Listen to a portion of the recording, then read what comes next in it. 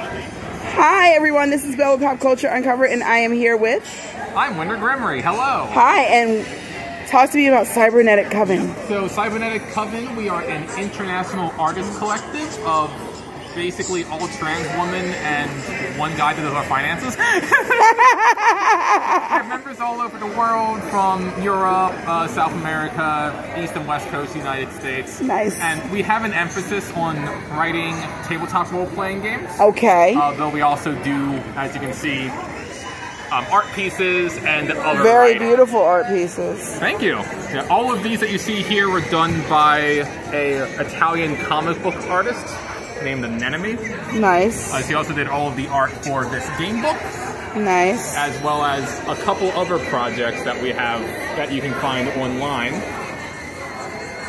Want to make sure we get the card in the shot. Yes, please do. Thank you. There you go.